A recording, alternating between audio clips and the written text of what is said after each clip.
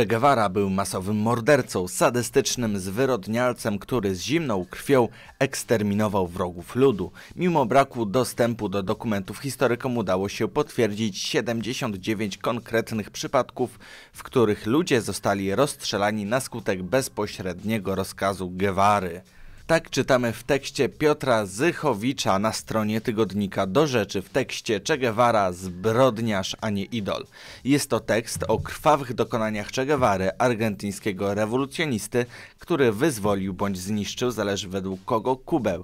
Przeanalizujemy ten tekst i znajdziemy 10 nieścisłości, które się najczęściej powtarza, a właściwie 9, bo w ostatnim punkcie przedstawił Wam taki mój punkt widzenia na tę postać i może się ze mną może nie. Ale to na koniec. Zaczynamy. W tekście do rzeczy czytamy. Eutimio Guerra był kubańskim wieśniakiem, który uwierzył w komunistyczny miraż rewolucji zacierającej wszelkie nierówności społeczne. Pod koniec lat 50. dołączył jako przewodnik do lewackiej partyzantki walczącej z rządem prezydenta Batisty. Szybko jednak zorientował się, że zamiast w grupie bojowników idealistów walczących o lepsze jutro, znalazł się w bandzie rabunkowej złożonej z deprawowanych kryminalistów. Guerra, który nie pasował do towarzystwa, padł ofiarą typowych w każdej organizacji komunistycznej wewnętrznych czystek. Postawiono mu absurdalne zarzuty. Miał rzekomo zdradzić pozycję partyzantów wojskowym rządom i skazano go na śmierć. Dowody były jednak tak wątłe, a niewinność Guerry tak oczywista, że nawet wśród czerwonych bandziorów trudno było znaleźć ochotnika, który wykona wyrok. I faktycznie miało to miejsce 17 lutego 1958 roku w górach Sierra Maestra.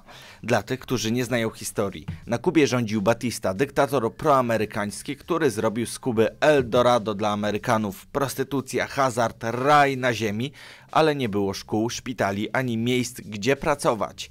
Kubajczycy głodowali i właśnie dlatego Castro i Guevara postanowili zorganizować powstanie. Eutimio Guerra, o którym wspomina się w artykule do rzeczy, faktycznie został stracony poprzez zastrzelenie przez Che Guevarę, ale autor nie wspomina, że pan Guerra współpracował z rządem Batisty i to przez niego spalono wiele gospodarstw i zamordowano wielu rolników współpracujących z Che Guevarą. Był po prostu konfidentem, a dla konfidentów przewiduje się karę śmierci. Jego bliski krewny Alberto Benegas Lynch w książce Mój kuzyn Cze opisał, jak młody Guevara czerpał perwersyjną przyjemność ze znęcania się nad zwierzętami. Gdy w połowie lat 50. znalazł się w Meksyku, gdzie przygotowywał się wraz z innymi Kubańczykami do przeprowadzenia puczu w swoim kraju, w ramach treningu z lubością podrzynał gardła psom. Dokonywał również makabrycznych eksperymentów na ciężarnych kotach, które łapał na ulicach Mexico City. Dobra, powiedzmy, że Cze był sadystą. No i? Piłsudski był pyszałkiem, Churchill alkoholikiem, Kennedy sypiał ze wszystkim, co się ruszało, a Hitler kochał zwierzęta. Trzeba coś więcej mówić? Gwara wziął udział w zamordowaniu co najmniej 22 ludzi. W większości byli to Bogu ducha winni chłopi oskarżeni o kolaborację z rządem Batisty. Przemordował nie tylko własnych ludzi, ale także jeńców wojennych. Znana jest historia schwytania w jednej z potyczek młodego żołnierza piechoty. Chłopak został właśnie powołany do wojska i był całkowicie zdezorientowany całą sytuacją. Jak to subtelnie napisane, prawda? A co robili Polacy w akcjach odwetowych na Ukrainie? Co robiły narodowe siły zbrojne? Polacy mordowali Ukraińców za rzeź wołyńską. Byli wściekli, że oni mordowali ich żony i dzieci.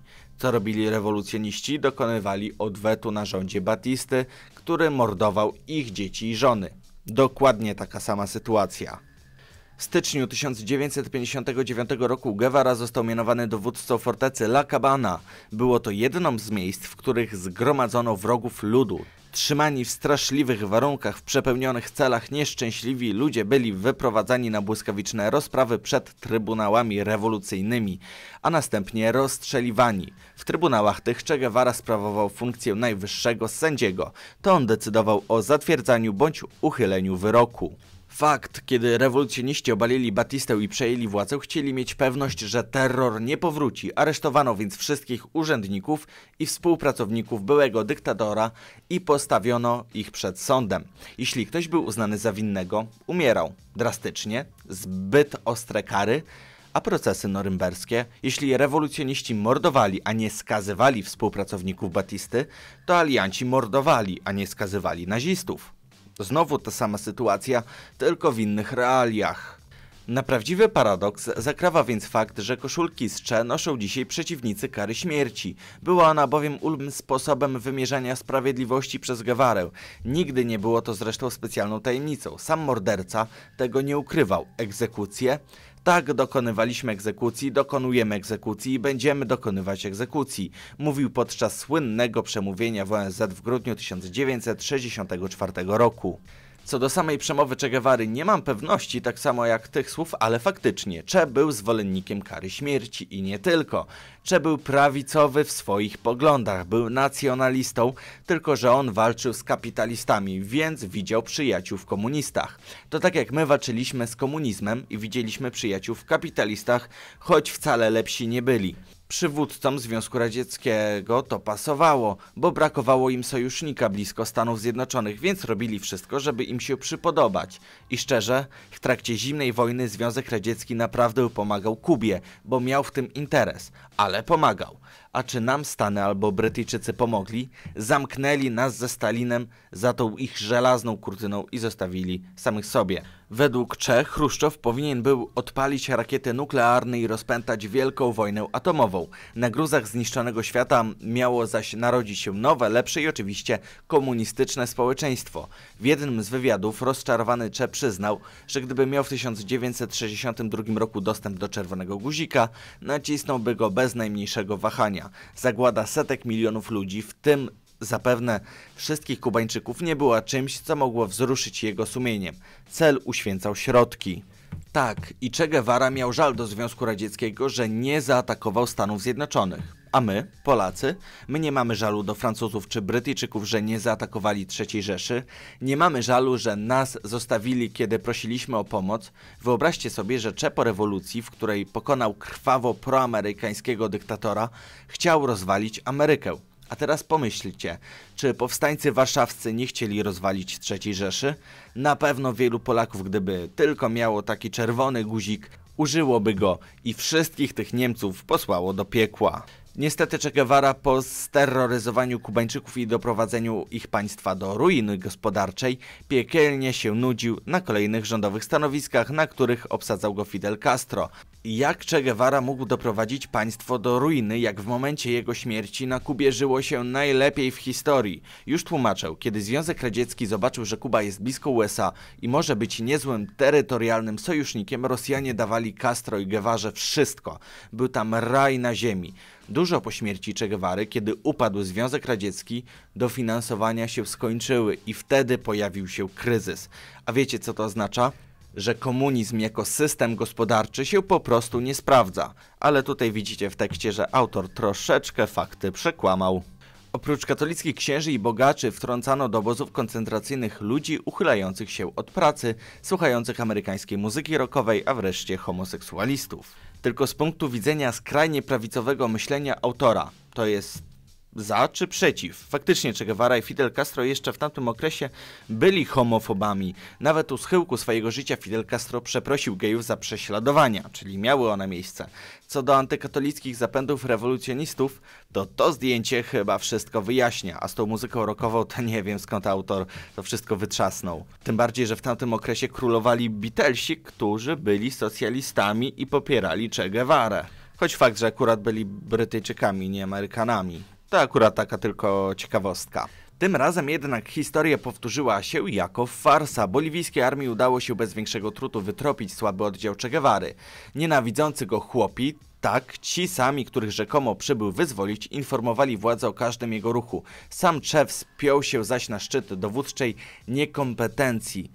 Tropieni przez wojsko rządowe partyzanci stracili w jednej z rzek całe swoje zapasy ekwipunek. Morale były coraz gorsze, szeregi topniały, a między czerwonymi dochodziło do awantur.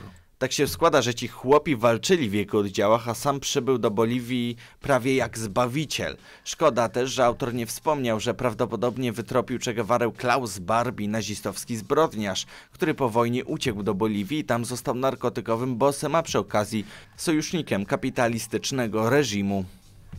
Podsumowanie. Zarówno karcenie Che Guevary przez prawicę, jak i uwielbianie go przez lewicę jest dla mnie niezrozumiałe. Moim zdaniem, mimo że był socjalistą, to był przedstawicielem jakiejś tam prawicy. No i moim zdaniem Kuba Che Guevary to taka amerykańska Polska. Mocne stwierdzenie. Popatrzcie, Piłsudski był socjalistą, tak jak Che Guevara. Piłsudski dokonał zamachu stanu, co się nazywa przewrotem majowym. Che dokonał zamachu stanu, co się nazywa rewolucją kubańską. Polacy w wojnie polsko-bolszewickiej stawili czoła wielkiemu wrogowi, czyli Rosji. Kubańczycy postawili się wielkiemu wrogowi, czyli Stanom Zjednoczonym. Polacy po II wojnie światowej skazywali nazistów na śmierć. Kubańczycy robili to z współpracownikami dyktatora. Do tego na Kubie panował nacjonalizm i homofobia. Czemu więc Cze jest idolem lewicy? Albo Cze, nieświadomy tego, co naprawdę robi Związek Radziecki, powtarzał, że ich wspiera. My na przykład wspieraliśmy Amerykanów, choć też nie wiedzieliśmy, że nas zostawią na pastwę najpierw Hitlera, a później Stalina. Che Guevara jest symbolem walki o wolność narodu i rządów ludzi, a nie tyranów. A lewica często z tymi tyranami sympatyzowała. Nas Związek Radziecki zaatakował, stąd stanęliśmy po stronie Amerykanów. Ich Amerykanie zaatakowali, stąd stanęli po stronie Związku Radzieckiego. To jedyna różnica. Jest, jesteśmy właściwie w takiej samej sytuacji, tylko że po różnych stronach konfliktu. I myślę, że trzeba ludzi uświadamiać o tym, że Che Guevara nie jest taki lewicowy, jak się go przedstawia i ma więcej pozytywnych wartości niż zazwyczaj się myśli. I są to inne wartości niż prezentują nam jego czerwoni czy tęczowi zwolennicy. A co wy o nim myślicie? Dajcie znać w komentarzu.